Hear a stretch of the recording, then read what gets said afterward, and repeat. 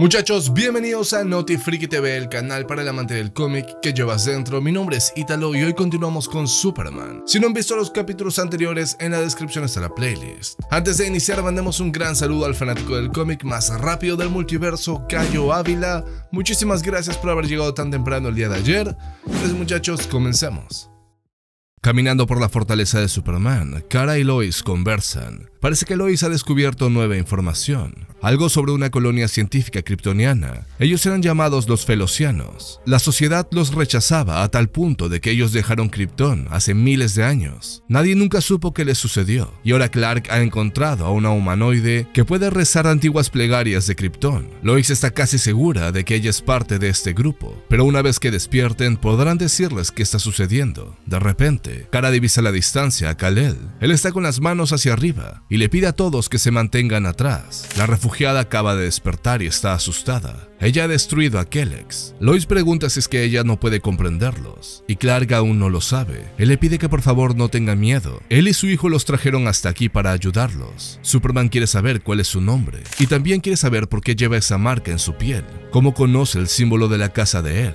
Con lágrimas en los ojos, la mujer responde, su nombre es Taola, y ella quiere saber dónde estaba Superman. Clark no entiende. Según Taola, hay miles como ella, pero él nunca apareció, incluso cuando el anterior Mongul se llevó a sus padres, cuando los sacerdotes de sangre se llevaron a su hermano, incluso ahora que el nuevo Mongul quema y flagela a todos los que son como ella, aquellos que ocultaron la marca. Taola dice que ella siempre pensó que él aparecería, pero nunca lo hizo. Ella quiere saber por qué. Superman responde de que nunca nadie más le hará daño. Él también le pide que por favor le deje quitarle las cadenas, pero Taola enfurece y le pide que retroceda. Clark insiste, ella no es una prisionera. Entonces, Taola dispara láseres de sus ojos. Ella está asustada. Ella no quería hacer esto. Ni siquiera sabe cómo pudo hacerlo. Taola no quiere que se lleven sus cadenas. Si lo hacen, Mongul se enterará. Lois abraza a la muchacha y le dice que todo está bien. No tiene por qué preocuparse. Se puede quedar con las cadenas todo el tiempo que ella quiera. Al mismo tiempo, en el fondo del océano, Búlculos científicos atlantes han estado investigando este misterioso material.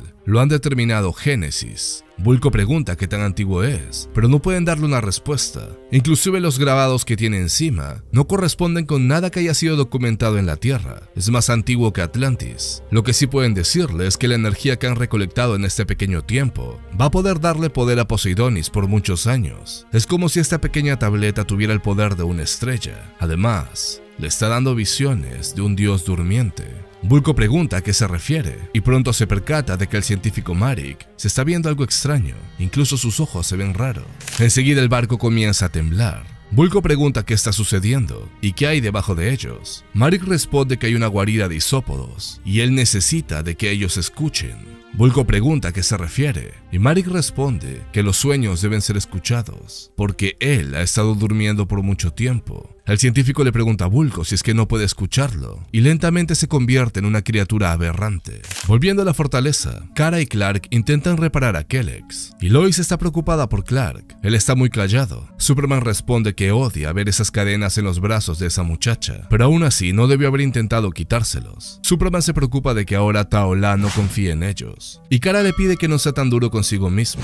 Lo único que los refugiados conocen debe ser dolor y violencia. Clark le pide a Lois que se encargue de Taola. Después de todo, parece que pudieron conectarse. Pero eso no es todo lo que preocupa a Superman. Él cree que Mongul ha muerto. Taola se refirió al Mongul que fue, y luego al Mongul que es. Además había algo extraño con los enviados de Warworld. Era como si hubiera nueva devoción en sus voces y mucho más miedo que antes. John interrumpe. Para él, esto es bastante cuestionable. Primero Kandor fue atacada y ahora refugiados aparecen con historias de que en Warworld hay kryptonianos que están siendo torturados. Superman responde que comprende a su hijo. Lo más probable es que esto sea una trampa, pero si los falocianos son lo que parecen ser y hay más de ellos esclavizados en Warworld, entonces realmente no importa que lo sea. Momentos después en ciudad gótica. Batman se está encargando de unos criminales y Superman aparece. Bruce le hace saber que no necesita ayuda, pero Superman no ha venido a ayudarlo, ha venido a pedirle ayuda. La Liga de la Justicia es necesitada en Warworld. Un nuevo Mongul se ha alzado y parece que tiene en su poder una colonia perdida de kryptonianos. Bruce le pregunta quién le dio esa información, si es que acaso fueron los refugiados. Y esto extraña a Clark,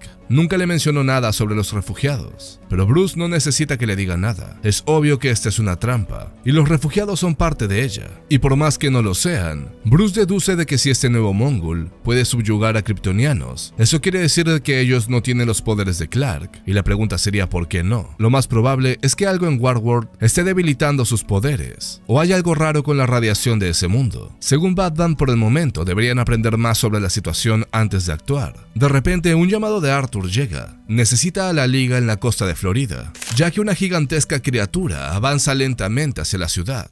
Y no está sola, con ella hay pequeñas criaturas también atacando. Aquaman está intentando hacer que retrocedan, pero no lo escuchan. Además, él nunca ha visto a criaturas como esta, y parece ser que se están volviendo más grandes. Superman le pide a Arthur que no se preocupe. Él se acerca a la bestia y la golpea fuertemente, pero la criatura contraataca. Murk observa esto y cree que Superman no va a poder derrotarla. Arthur pide fe. Por su parte, Clark ingresa a la bestia y conforme va descendiendo por su garganta, escucha una voz. Esta voz lo estaba esperando y lo conoce, Superman de la Tierra. Le dice que lo han estado esperando, incluso antes de que las estrellas iluminen el cielo. Clark ya no sabe dónde está. Hay como una fortaleza dentro de la criatura. La voz le dice que se encuentra en la necrópolis, un lugar que pronto será, y al mismo tiempo siempre ha sido. Clark pregunta por qué le están mostrando esto, y la voz responde que solo es una voz dentro de sus sueños. De la misma manera lo es Superman y las bestias con las que se enfrenta. Él espera la llegada de Clark, ya que muy pocos tendrán un rol tan grande en la historia como él. Superman no sabe a qué se refiere, pero sí sabe algo. Todo eso es una ilusión. Clark vuelve en sí mismo y luego sopla fuertemente dentro de la bestia. En el último momento, cuando todo parecía perdido, la criatura comienza a congelarse de adentro hacia afuera. Con el peligro más grande derrotado, Arthur le pide a sus fuerzas que se enfoquen en las criaturas pequeñas. Sin embargo, Clark necesita hablar con Arthur. El fragmento que los atlantes tienen en estos momentos causó esto. No solo es una fuente de energía, es algo más, y no les pertenece. De repente son interrumpidos. Steve Trevor desciende de un helicóptero.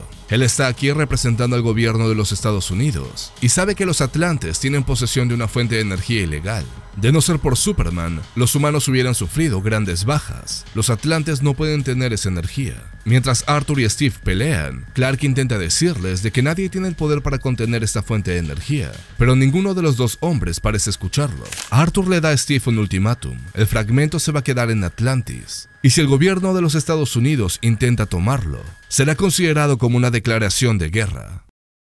Muy bien amigos, así continúa esta historia. Ya tenemos el nombre de esta refugiada misteriosa, Taola, y supuestamente es parte de un grupo que huyó de Krypton, técnicamente es kryptoniana. Hemos visto que su presencia en el planeta Tierra ha afectado la composición de su cuerpo, así como con Superman, ha desarrollado las habilidades que Superman normalmente tiene.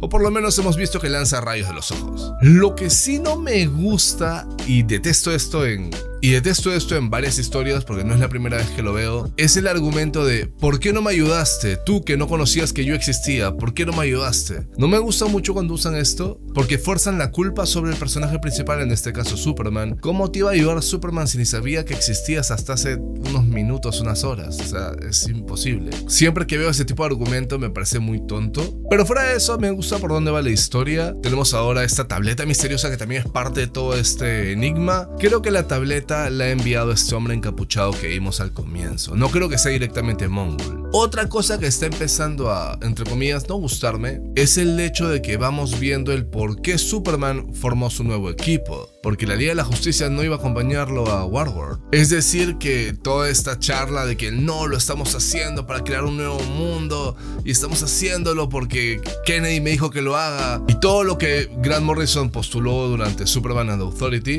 aquí simplemente se reducen, ¿saben qué? Quería ir a salvar a esta gente, pero la Liga de la Justicia no me quería acompañar, así que me armé mi propio equipo. Ahí tenemos como que ideas un poco contrarias. Pero como les digo, Fuera de estos puntos minúsculos, la historia me parece bastante interesante. Por el momento, ya veremos cómo va avanzando. El arte está brutal, me encanta el arte. Por el momento esto ha sido todo muchachos. Han estado viendo Noti Freaky TV. Muchísimas gracias por la preferencia.